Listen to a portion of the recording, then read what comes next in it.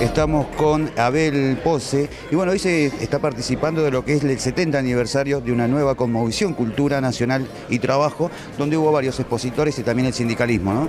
En particular, eh, conmemoramos el 70 aniversario del Congreso Filosófico de 1949, que trajo al país la cantidad de filósofos que nadie podía imaginar. Todos los filósofos del mundo fueron convocados, no son tantos porque la filosofía es una, una minoría en cada país, obviamente de, de la academia de cada país, pero el esfuerzo que se hizo dejó influencia en Argentina y fue el acto cultural, a mi juicio, más importante de toda la historia moderna argentina, del 900 aquí.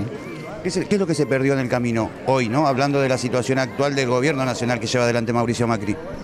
Bueno, estamos en una situación, estamos todos perplejos, nunca pudimos imaginar que llegamos a una zona de fracaso, de desocupación, de hambre. Lo que estamos viendo no ocurrió jamás en la historia argentina. Y creo de que este episodio socialmente, desde el punto de vista médico y la alimentación de los niños y de los jubilados, es uno de los dramas más grandes de la Argentina y que tiene que convocarnos a todos con una decisión absoluta para salir de esto.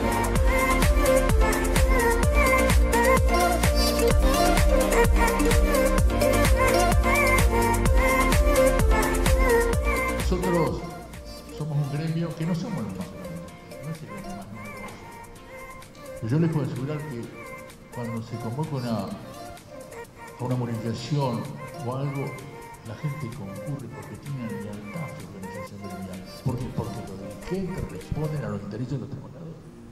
Entonces, esto es lo que, lo que nos lleva a nosotros a ser una organización como la que somos. Y esto es lo que deberían hacer todos, todos los dirigentes. Si a lo mejor esta charla da que yo haga una crítica a mis padres, pero no lo hago con ningún interés que no sea el de que despierten y que si son leales a Perón y a Perón, hagan lo que Perón y Eva Perón les enseñó a hacer, defender la dignidad del trabajador. Por eso, cuando se habla del presente, coincido totalmente con las definiciones que han dado. Y aprovechando que hay un tanquero, yo les voy a decir que este muchacho, me parece que el quiso muchacho, el, quiso el tango muchacho, me parece que se inspiró en este tipo. Porque no sé si lo conocen. Si porque la suerte quise venir en un primer piso del Palacete Central. Porque la suerte quise, no porque él hizo algo para llegar. Y si tenés sentimiento, lo tenés adormecido si todos los corridos pagando un chabón. Yo no quiero, no quiero, a veces se, me escapa alguna, alguna expresión, pero no quiero ofender, ofender a nadie, mucho menos a la investidura presidencial. Pero Perón decía claramente, pasaron por Perón decía claramente, entre el burro y el malo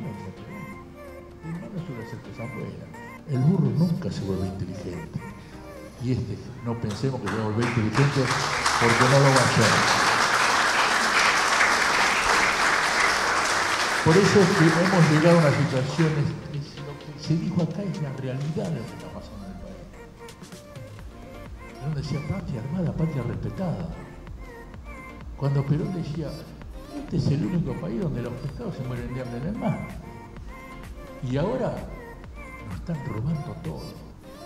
Es importantísimo el esfuerzo que se hace, pero hay que hacerlo porque la sociedad nos está reclamando eso. A todos los que tenemos una responsabilidad está como exigiéndonos a que nos juntemos todos, a que nos unamos todos y a que de una vez por todas terminemos con, con este gobierno que nos ha llevado a una situación realmente lamentable. Porque los que sufren son seres humanos, criaturas, jubilados, gente sin trabajo. Eso es lo que sufre, pero ellos no tienen noción de ese tipo de cosas.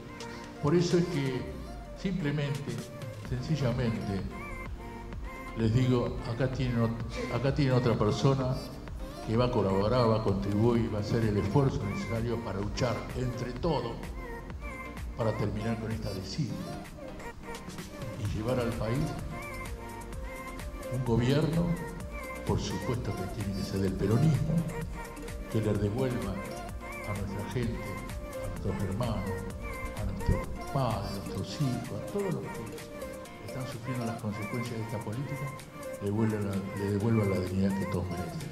Muchas gracias.